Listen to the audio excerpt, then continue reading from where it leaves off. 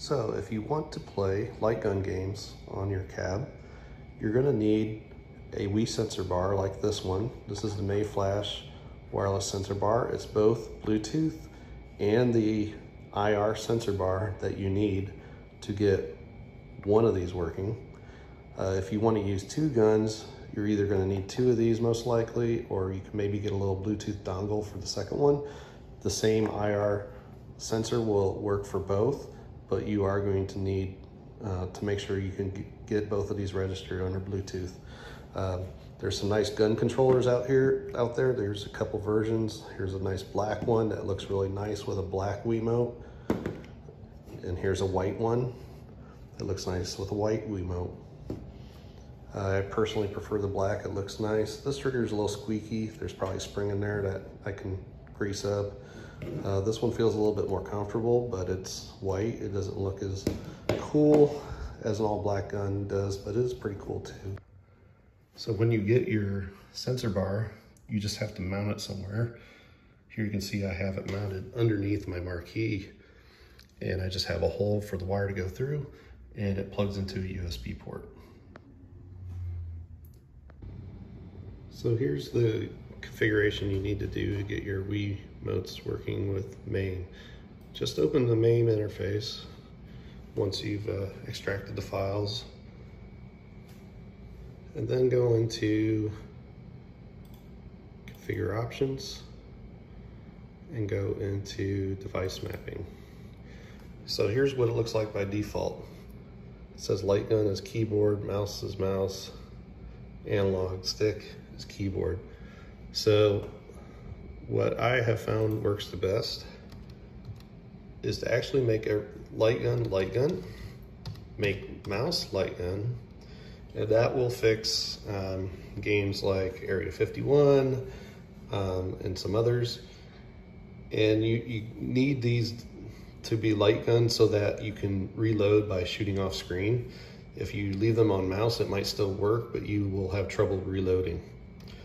And then last one you need to do is analog stick because some of these games like Jurassic Park and Terminator 2 their guns are actually analog sticks rather than actual light guns. So you also want to set this one to light gun.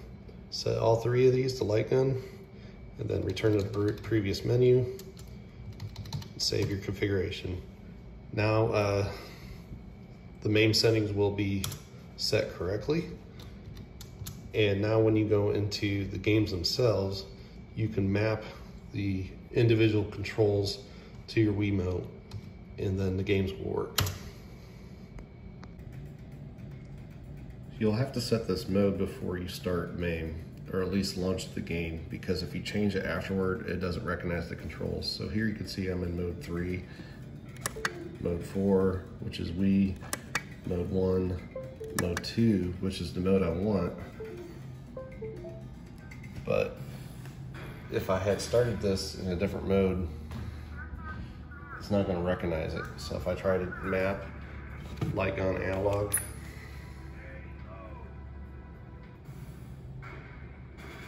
and I'm moving my Wiimote, it's not mapping it, nothing, because I changed the mode after I launched the game.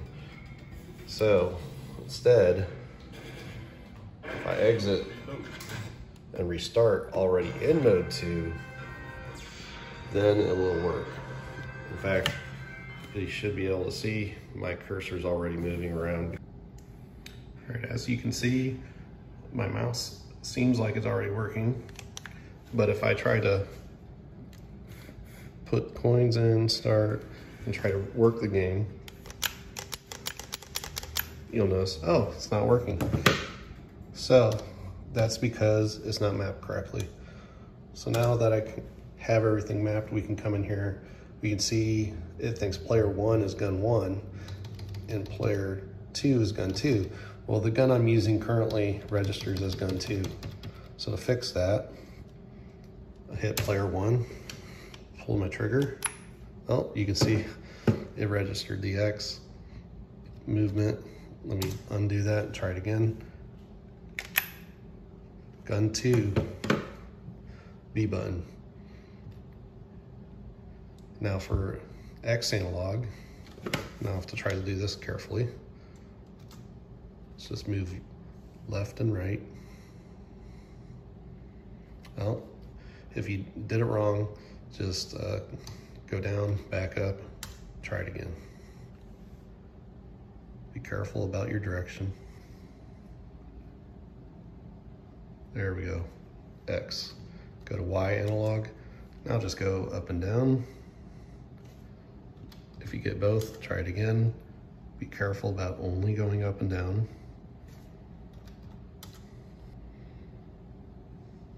There we go, I got Y. If I wanted to map the A button, I could map that as well to something. Uh, but these other buttons, you're not gonna be able to really map in mode two. The plus is always enter. The home button is the Windows key.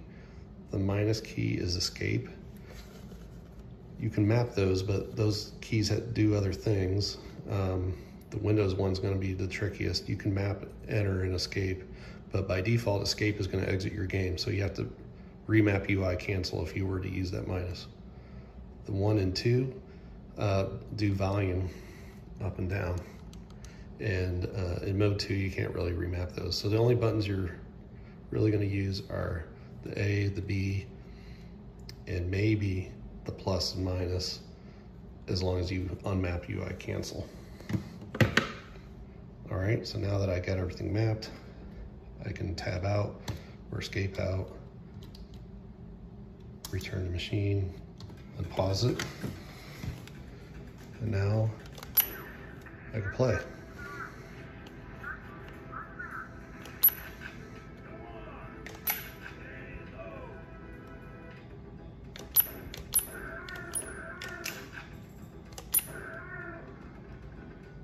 And there we go. Reload works.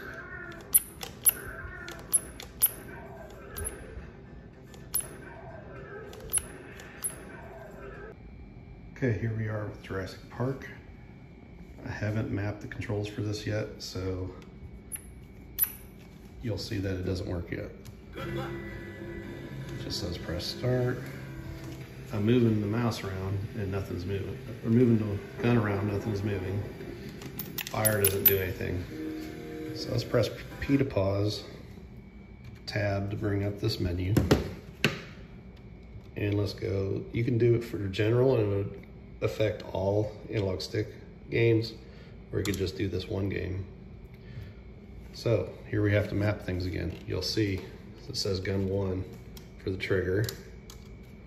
So let's push that trigger, gun two, be zero. Analog stick, and again, we'll have to be careful to only go left or right, but again, analog. If you're too close, back up further. There we go. Analog stick Y.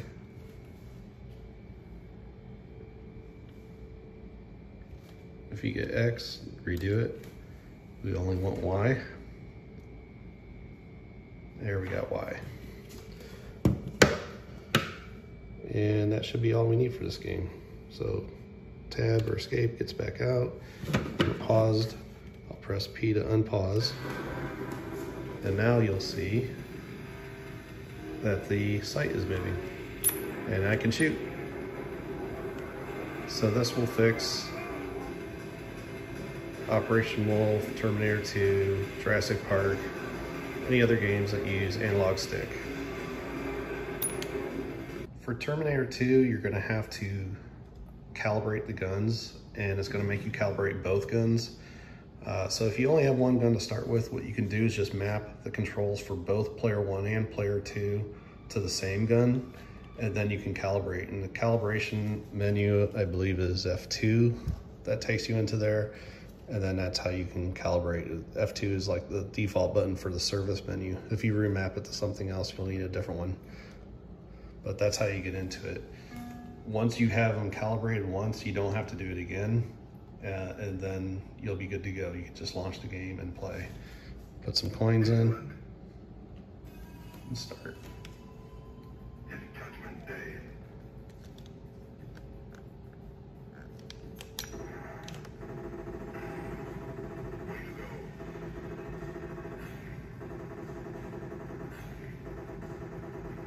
Actually my Wiimote's giving me some force feedback right now as I'm holding this trigger. It's kind of a cool effect. It makes it feel like I'm holding an Uzi gun.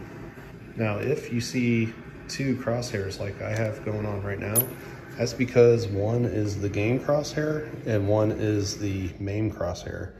So what you can do is go into the tab menu again, go to crosshair options, and you can turn the P1 visibility to off. And then you, won't see the crosshair anymore.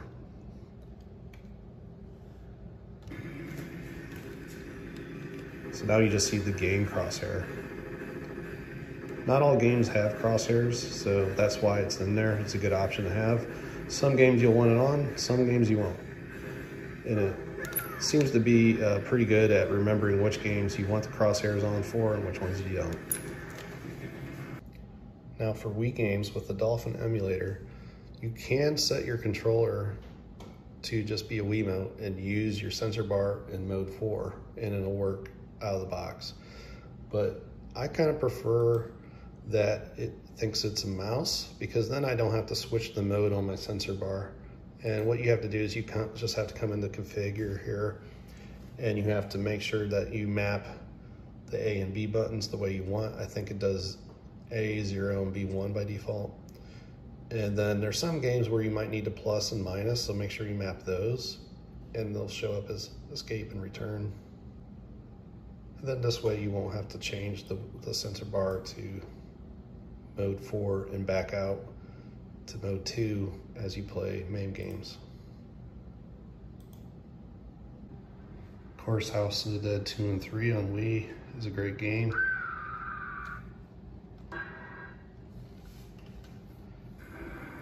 Now you notice it says press 1 to skip, but 1 in mode 2 does volume, so it doesn't do anything. So Till then, this is a little annoying so you can't skip the uh, dialogue.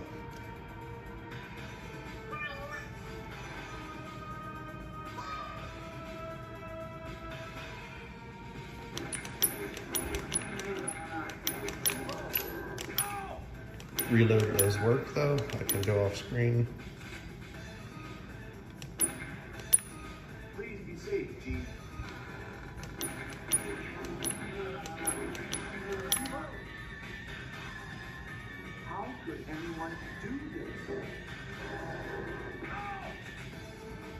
I'm a little too close to the screen, so the reload is a little sensitive. It seems to work better going left and right than it does going up and down. Ghost Squad's another great Wii game. And as you can see, to play this one, you have to map the plus button. So if you don't map this plus, uh, you won't be able to start. So it's pretty important for this one.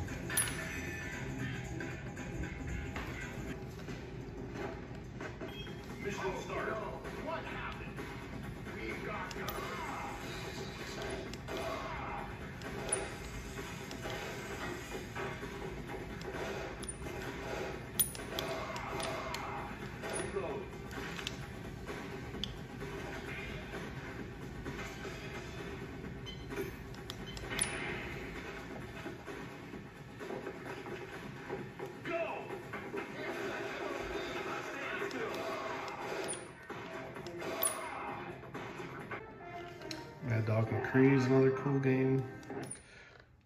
This one is a little sensitive with the reload. You kind of have to go left and right, up and down. It doesn't seem to reload as well. Maybe up it might, but down it seems to get stuck. You better take up some target practice first. There's a mean bunch showed up, and I'm scared. Good. Uh, one more important hey, thing. Don't talk. Now this one,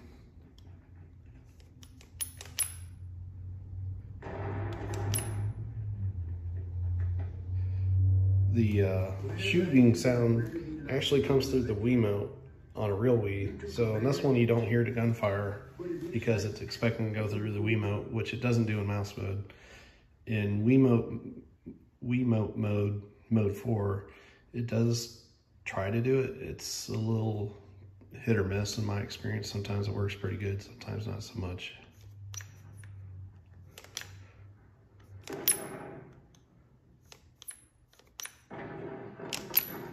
Oh, you can reload up. You just have to point up and push the trigger. Reload down doesn't work though.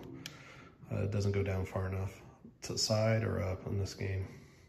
And pull the trigger. Looking at my keys, stranger?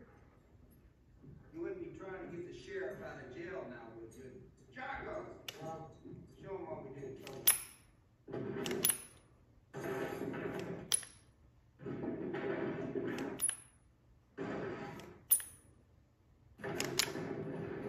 If you played more than once, you know which guys are going to shoot in which order. It makes it a lot easier.